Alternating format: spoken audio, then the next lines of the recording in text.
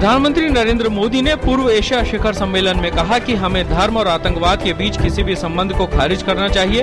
उन्होंने कहा कि साइबर और अंतरिक्ष जैसे क्षेत्र संपर्क तथा समृद्धि बढ़ाने के लिए होने चाहिए। ये संघर्ष के नए क्षेत्र नहीं बनने चाहिए।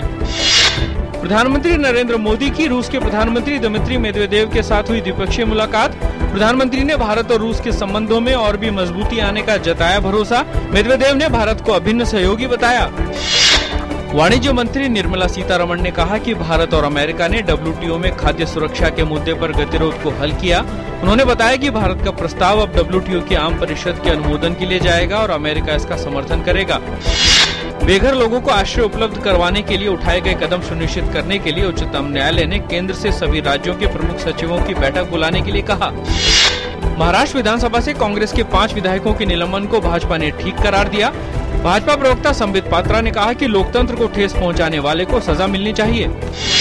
महाराष्ट्र में राज्यपाल के साथ धक्का मुक्की के मामले पर अपनी प्रतिक्रिया देते हुए कांग्रेस नेता राशिद अलवी ने कहा कि ये सदन के बाहर की घटना है और उस पर स्पीकर को कार्रवाई का अधिकार नहीं है। रिज़र्व बैंक के गवर्नर रघुराम राजन ने कहा है कि माइक्रो फाइनेंस कंपनियों से कर्ज लेने वालों को मनमाने ब्याज दर से संरक्षण मिलना चाहिए। उन्होंने कहा कि रिज़र्व बैंक इस महीने के अंत तक छोटे और पेमेंट बैंकों के लिए आवेदन आमंत्रित करेगा। आज के शुरुआती कारोबार में सेंसेक्स 90 अंक बढ़कर अट्ठाईस हज़ार निन्यानवे पर खुला। निफ्टी भी 25 अंक बढ़कर आठ हज़ार चार सौ आठ पर खुला। आज के शुरुआती कारोबार के दौरान डॉलर के मुकाबले रुपया दो पैसे की मामूली तेज़ी के साथ इकसठ रूपए उनचास पैसे प्रति डॉलर पर खुला।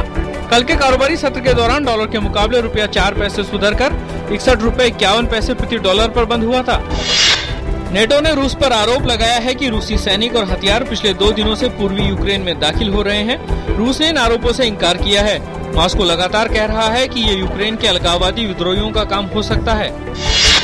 किसी धूमकेतु पर पहली बार प्रोब रॉकेट उतारकर यूरोप ने इतिहास रचा, लेकिन पुच्छल तारे की सतह पर उतरने के बाद रोबोट खुद को सही तरह से स्थापित नहीं कर पाया।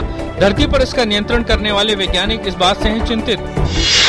रेफ्रिजरेटर के आकार वाला प्रोफ़ाइल ही पृथ्वी से इक्यावन करोड़ किलोमीटर से अधिक दूरी पर स्थित सड़सठ पी चुरियोमो गेरासिमेन को नामक धूमकेतु पर उतारा गया था।